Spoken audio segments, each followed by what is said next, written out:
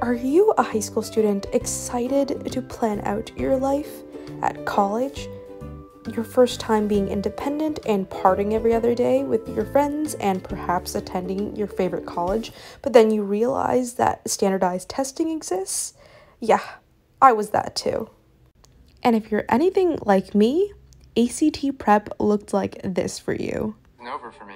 Oh my god, well, all right. Did, did you to Colton after you got home?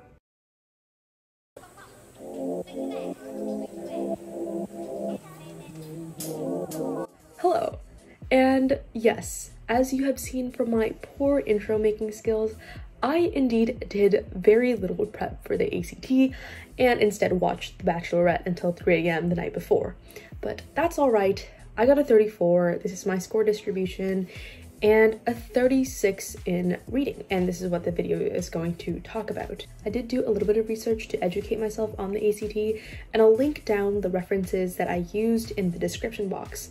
But without further ado, let's get started. So the first thing that I really want to drill into your head is to stop overthinking. This is the kryptonite of most test takers that I've seen in regards to both the SAT and ACT reading sections. A lot of the time we try to justify answers that sound more scholarly or more smart, but the answer is always in the text. If you find yourself having to make justifications for an answer, it's probably wrong. Your gut instinct is mostly always right, so you should probably go with your first choice. The ACT reading section is a lot more straightforward than the SAT reading section.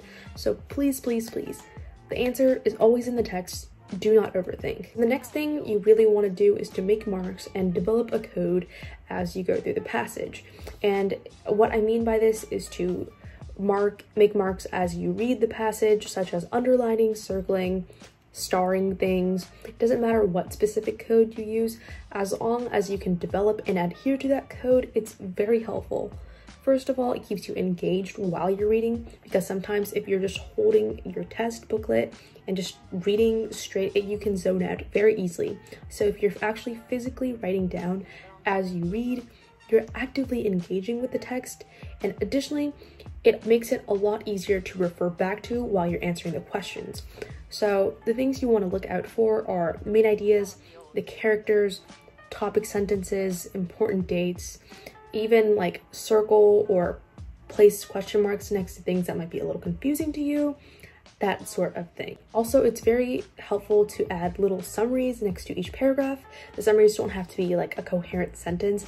It can honestly just be like a few short words explaining the gist or purpose of each paragraph. The next thing is to realize your strengths and play into the strengths because the ACT reading section always, always, always has four passages and they're always in the same order. They are fiction, social sciences, humanities, and natural sciences. I know me personally, I really enjoy fiction, social sciences, and humanities. I really don't like the natural sciences. I can find it very boring sometimes reading it, so I try to do that last, but someone who is more STEM-based might enjoy that more and want to tackle that first. Or you could want to tackle the harder things first if you find that you lose focus throughout the test.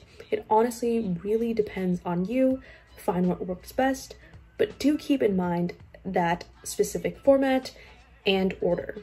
Next, I'm going to move on to question types.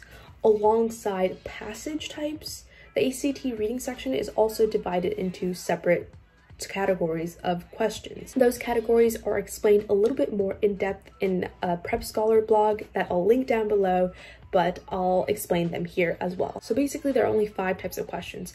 Big picture, little picture, inference, vocabulary, and function. With big picture, it's usually the main idea and the central theme of the actual passage. For me personally, I try to answer these types of questions last because then I will have like a firmer grasp of what the passage is actually talking about. These questions are normally asking for themes, summaries, and the answer is usually pretty straightforward. It's not directly in the text, but try to derive the most simplest understanding of the passage that's probably the answer. Next is little picture. It will literally just ask you for specific details in the text and are pretty simple. Um, you just need to refer back to the text and this will help if you had notations, which I talked about earlier. So just refer back to your notations and the text and answer accordingly. That you can always find a factual literal answer for in the text. Next is inference, and I've heard that they can be a little difficult for a lot of people because it can be seen as subjective, but just cross out, use a process of elimination, and go from there. Honestly, I don't have any concrete advice for this section, but if you really need to, spare a little bit more time for these types of questions or go back to them later because they are a little harder than the previous types of questions. The next type of question is vocabulary. And vocabulary asks for, guess what? Surprise, surprise, vocabulary. But they're not just asking about what that word means, it's asking about what that word means in the context of the passage. Go back to the line that the question is asking about, circle the word in question, and then reread the entire sentence that that word belongs to. This will be able to refresh your mind of the context of the word.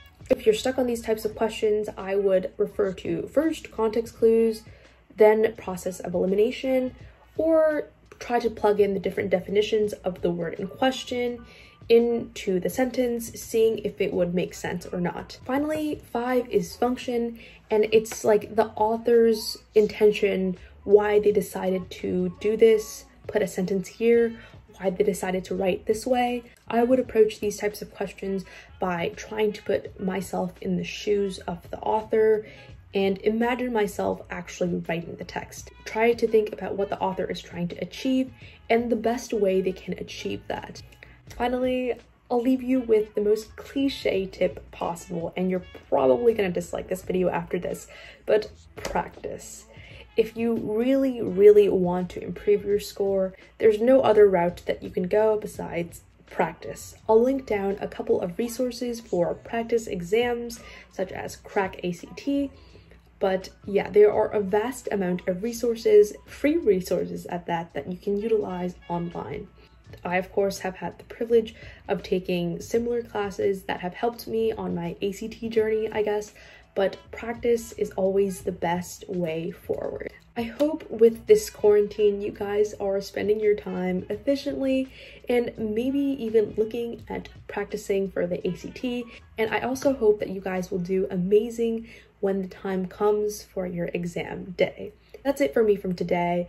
I hope you guys are safe and social distancing, and I'll see you guys sometime soon.